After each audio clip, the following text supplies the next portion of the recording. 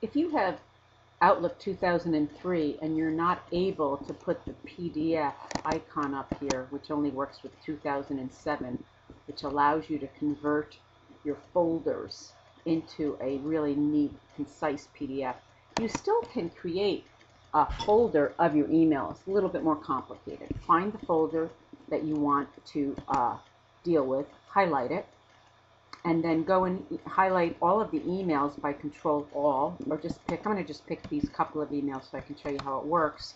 And once you have the emails highlighted it could be 500 emails really. Select all right click on any of the emails and hit print.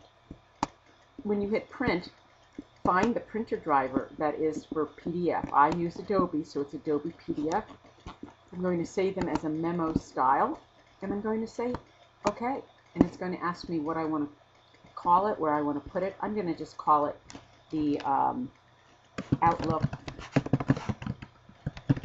PDF test. And then I'm going to hit save. I know where I'm putting it in what folder. Notice it's printing it, and it's, even though I only have about 10 emails, it prints all the pages. So you can see now that I have every one of the emails, they're just separate now.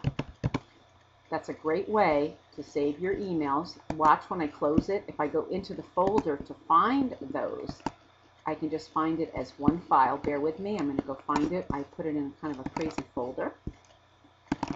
And here it is, Outlook PDF test. It's 75K. This can be dragged on a CD and then sent. Burned on a CD right there. Have a great day.